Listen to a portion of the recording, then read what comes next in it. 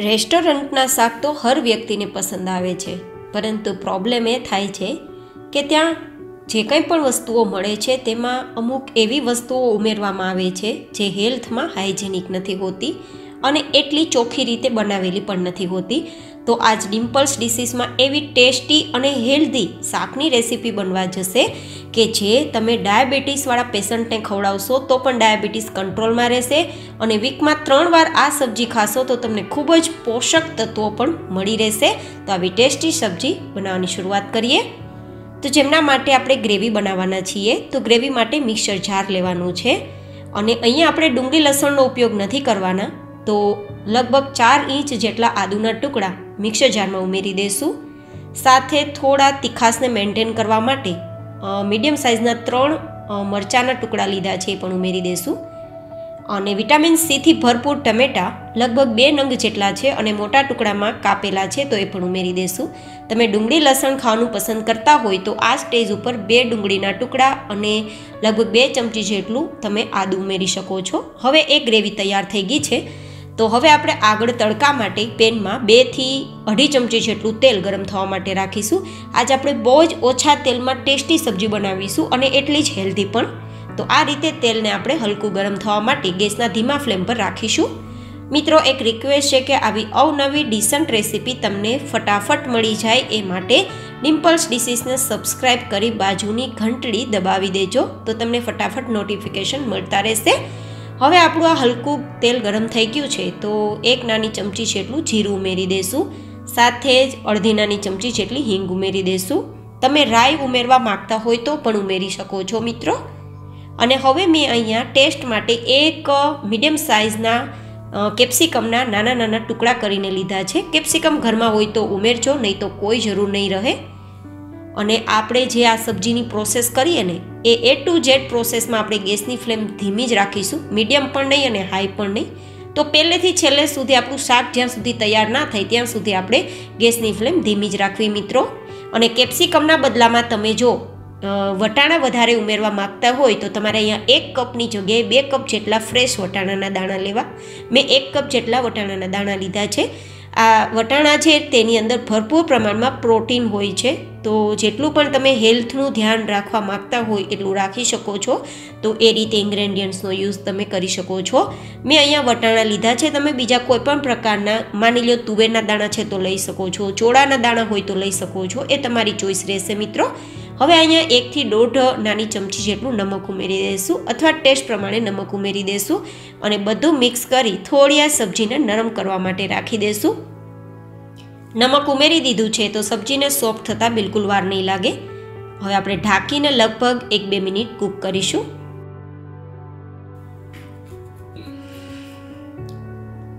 તો લગભગ બે મિનિટ પછી ઓલમોસ્ટ આપણી સબ્જી છે તે નરમ થઈ ગઈ છે. Ninety two, ninety five percent જેટલી સોફ્ટ હોય, ત્યાં સુધી આપણે નરમ કરીશું. કારણ કે આગળની પ્રોસેસ કરવામાં હજુ આ સબ્જી વધારે નરમ થવાની જ છે. તો એકદમ ઓછા તેલમાં લસણ ડુંગળીના ઉપયોગ વગર એ રીતે બનાવીશું કે ટેસ્ટ પણ જળવાશે અને હેલ્થ પણ જળવાશે મિત્રો. તો આ રીતે આ બંને વસ્તુ નરમ થઈ ગઈ છે. તો હવે આપણે અહીંયા એક ચમચી જેટલો ચણાનો લોટ ઉમેરીશું. ડાયાબિટીસના પેશન્ટ માટે ચણાનો લોટ ખાવો જરૂરી હોય છે અને ટેસ્ટ પણ મેન્ટેન કરશે આપણી આજની આ રેસીપીમાં. તો એક ચમચી જેટલા ચણાના લોટને આપણે લગભગ ગોલ્ડન કલરનો શેકાઈ ના જાય ત્યાં સુધી ખાસ ધીમા ગેસની ફ્લેમ પર શેકીશું. આ રીતે એકવાર તમે જરૂર ટ્રાય કરજો આજની ટેસ્ટી રેસીપી બનાવવાની. અને આ રેસીપી મેં ટેસ્ટને અને હેલ્થને ધ્યાનમાં રાખીને બનાવેલી છે. તો આ સબ્જીનું નામ શું આપી શકાય એ પણ મને જરૂરથી બતાવજો મિત્રો. હવે આપણે અહીંયા જે ગ્રેવી તૈયાર કરીને રાખી હતી ને, ટમેટાં, મરચાં અને આદુની, તો એ ગ્રેવી પણ ઉમેરી દીધી છે. અને આ રીતે ગ્રેવી ઉમેરી દીધા બાદ આપણે બધું મિક્સ કરી દઈશું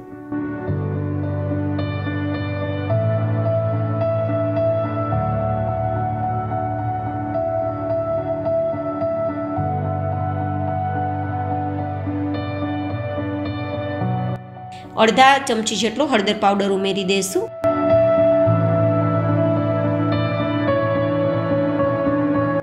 અને બે નાની ચમચી જેટલો કાશ્મીરી લાલ મરચું પાવડર મેં ઉમેરેલું છે, જેથી કલરફુલ સબ્જી થશે, તીખી બિલકુલ નહીં થાય. તમારે તીખું મરચું હોય તો થોડું ઓછું ઉમેરવું.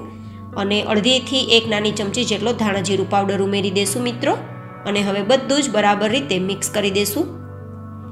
આપણી આ સબ્જી છે, તેમાં પાણીનો ઉપયોગ બહુ જ ઓછો થશે. તેમ છતાં તમને ગ્રેવીમાં તેવું લાગે કે પાણીની જરૂર છે, તો તમે લગભગ વન ફોર્થ ગ્લાસ જેટલું પાણી ઉમેરી શકો છો.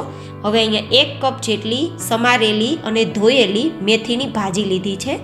આ મેથીની ભાજીની અંદર એટલી બધી કડવાણી હોય છે કે તમારા શરીરની અંદર પોષક તત્વોની સાથે સાથે કડવાણીનું કામ કરતી હોવાથી ઘણી બધી બીમારીઓને દૂર રાખવાનું પણ કામ કરશે અને ખાસ ડાયાબિટીસના પેશન્ટ માટે તો આશીર્વાદરૂપ રહેશે. આજની આ ટેસ્ટી રેસીપી.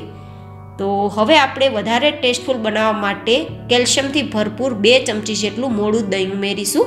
તમે દહીંની જગ્યાએ એકથી દોઢ ચમચી જેટલો લીંબુનો રસ ઉમેરી શકો છો અને અડધી નાની ચમચી જેટલો શુગર ઉમેરી દેશું. જો ડાયાબિટીસના પેશન્ટ માટે રેસીપી બનાવતા હોય તો તમારે ખાંડ બિલકુલ ના ઉમેરવી. આ હું તમને એક સજેશન આપું છું. પરંતુ બાકી તમે એઝ યુઝવલ થોડી ખાંડ ઉમેરી શકો છો, જેથી કડવાણી પણ દૂર થાય. હવે તેલ ઉપર દેખાવા લાગે ને ગ્રેવીમાં, ત્યાં સુધી કૂક કરીશું. તો આ રીતે હવે આપણી સબ્જી ઉપર તેલ છે, દેખાવા લાગ્યું છે. મતલબ આપણી સબ્જી છે ઓલમોસ્ટ કૂક થઈ ગઈ છે. તેમ છતાં આ રીતે એકવાર ચેક કરી લેવી. મિત્રો, તમે આ રીતે જરૂર ટ્રાય કરજો. સબ્જી બનાવવાની બહુ જ ટેસ્ટી બનશે અને હેલ્ધી પણ એટલી જ રહેશે. અને હા, મને નામ આપવાનું બિલકુલ ના ચૂકતા. મારી જે જે રેસીપીમાં હું નામની ડિમાન્ડ કરું છું, ત્યારે મને મારા વ્યૂઅર્સ નામ આપે જ છે એ માટે થેન્ક યુ સો મચ અને આ રેસીપીમાં પણ નામ આપવાનું ચૂકતા નહીં, મિત્રો. હવે ઉપરથી ધાણાને આપણે આ રીતે સ્પ્રિંકલ કરી દઈશું મિક્સ કરી દઈશું. ગેસની ફ્લેમ બંધ કરી દઈશું અને ફટાફટ આ ગરમા ગરમ સબ્જીને તમે રોટલા સાથે, રોટલી સાથે, ભાખરી સાથે, પરોઠા સાથે કે પૂરી સાથે ખાઈ શકો છો. રેસ્ટોરન્ટના શાકને ટક્કર મારે તેવું ટેસ્ટી આપણું શાક તૈયાર થયું છે. એકવાર જરૂર ટ્રાય કરવા જેવી આ રેસીપી છે. ઓછા ખર્ચે બની જશે. સાથે ઓછા સમયમાં, ઓછી મહેનતે, ઓછી સામગ્રીથી અને હેલ્થ પણ, ટેસ્ટ પણ બંને વસ્તુ જળવાશે. બહુ જલ્દી મળીશું આવી જ એક હેલ્ધી ડીશ સાથે ત્યાં સુધી હંમેશા ખુશ રહો, હસતા રહો. Take care and by